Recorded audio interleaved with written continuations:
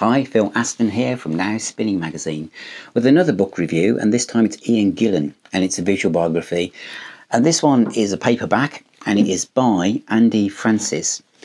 This one is heavy, very much heavier on photos and fairly large font and more kind of memorabilia based in a way. But anyway, before I give my summary, let's have a quick flick through and so you can see what it's like. This is Ian Gillan, a visual biography by Andy Francis, and with all the book reviews, I'm not going to go through every single page, but just give you a quick overview so you can see, you know, some of the things you might get with it. Um, but this is more, uh, as I'll say in the summary, it's more focused on um, photography really. Um, so that large font, there's not that much text, but there's some great photographs. And as I, again, I'll say in the summary, there's some I've never seen before. The quality is good. Some of the pictures are probably very rare and from private archives um, that have been researched. And it's just a, a wonderful piece, piece of rock and social history looking at these pictures. You know, I, I, I enjoy looking through um, the pictures and looking at the the audience or the other people on the pictures as well. Some of the Mark II stuff you may have seen before, um, but a lot of this stuff when he formed the Gillan band was quite new to me, and I love the fact you know these kind of promotional pictures, which must be quite rare, especially the Ian Gillan band, which I adore, by the way. Um, but there's some great great things in here. There really is. I would have liked a bit more text. I would have liked a bit more story. Um, but of course, the clue the clue actually is in the title of the book. it's a visual history, so there's lots of visual stuff in it. Um, but I'll give a quick summary now. But it goes through all the way right up until most recent periods of Gillan's time with Deep Purple, finishing with a picture here from September 2014, the Night of Guitars in Lyme Regis, where Ian lives. Um, great stuff. And of course, the last one, of course, 2022 on the 25th of October, Birmingham Arena, with um, Simon McBride Bride now in the band as well. So here's a quick summary and my thoughts. That's Ian Gillan, a visual biography by Andy Francis. And my the reason why I like this book is that there are certain parts of Ian Gillan's career which are everywhere, and there's so many photographs that I know off by heart.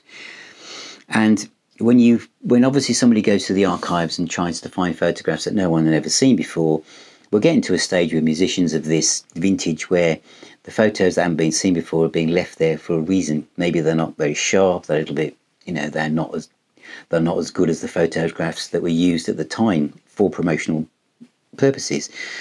And there, there might be some of those in here, but overall, the interest in them, as you saw when I went flick through it, um, you know, the early ones, etc.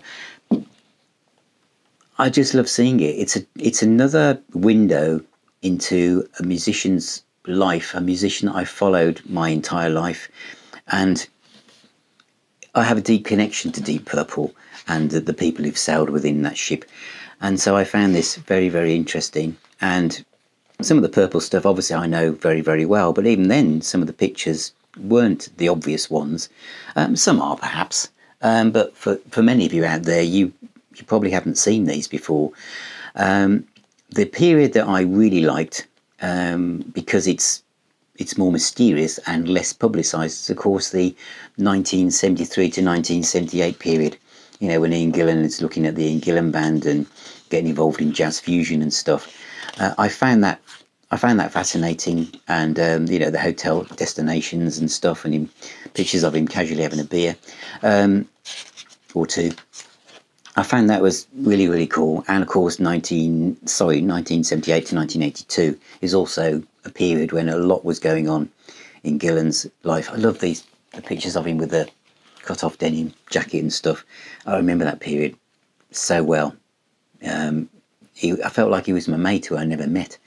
Um, brother from another mother, is that what they say? And then of course you've got the you know the Sabbathy stuff, and um, and then of course Purple Returns.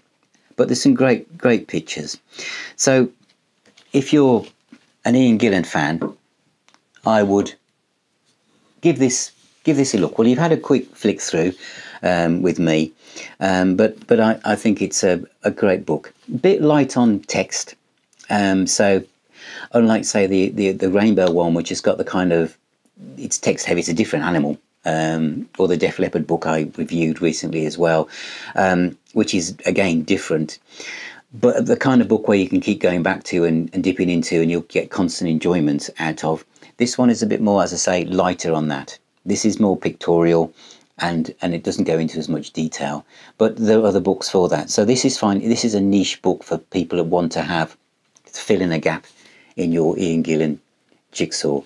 Uh, but these um, books are from Wymer Publishing and um, they are a fantastic publishing house that really have dedicated um, sections for rock bands. Go onto their website and you'll be amazed on how many books there are out there. They also do a lot of publishing for Martin Popoff as well. And of course, you know, it's great to, to know that you can get his books here in the UK as well via Wymer Publishing. So check them out. So thank you for watching, thank you for being here, thank you for subscribing and ringing that little bell. Um, check out the website at nowspinning.co.uk and I shall see you very, very soon.